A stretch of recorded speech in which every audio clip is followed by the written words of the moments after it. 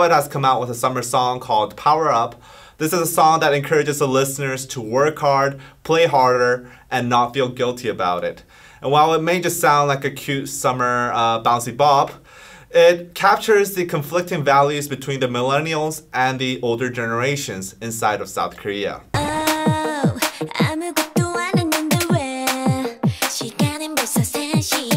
these lines, you learn that the narrator is likely an office worker. In South Korean office jobs, you will likely hear this phrase a lot, uh, and I mean a lot. Uh, this is because you don't really have working hours in office jobs. Well, you do on paper, but you will not go home until you finish your work. So if you haven't done any work at 3 p.m., you're not likely going home anytime soon.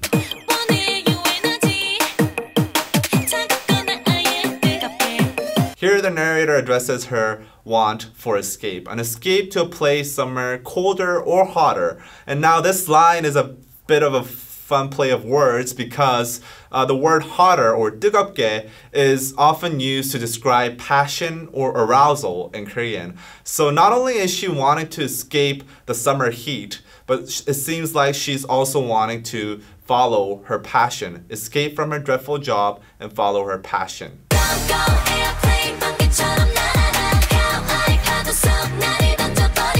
here the narrator talks about going on a plane to Kauai, which is an island of Hawaii. This is her imagining of the ultimate summer escape.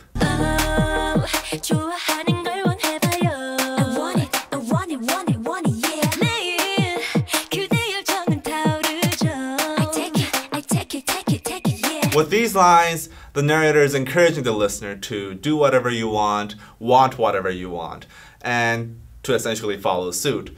Uh, you can clearly see that the intended listener, the audience, was uh, students or uh, people in jobs that they don't want to be in. Oftentimes in Korean culture, expressing your wants, your desires explicitly is considered very immature.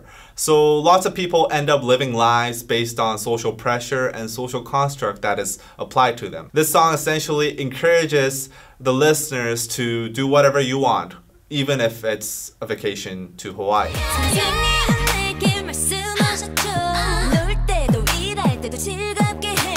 Currently in South Korea, there is a very strong conflict between the older generations and the millennials. Uh, the older generations, they grew up in a developing country when South Korea was still in its developing state. And they valued hard work and long hours, working long hours more than anything. Whereas the millennials, they grew up in a developed country, so they don't value work over their lives. They, they actually value the quality of their lives more than anything.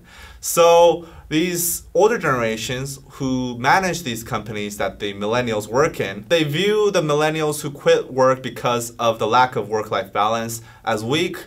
And in return, the millennials end up feeling very guilty whenever they take a break or vacation because they feel that they're doing something wrong. They feel that they need to perhaps take work more seriously like the older generations did. This is made worse by the extreme youth unemployment crisis inside of South Korea right now. And basically, a lot of these millennials, they feel like they're getting behind the competition when they take a break from work. So the millennials even feel conflicted within themselves. They want to value quality of life, yet they feel guilt. They feel like they're left being left behind whenever they take a break. And Red Velvet is saying it's okay.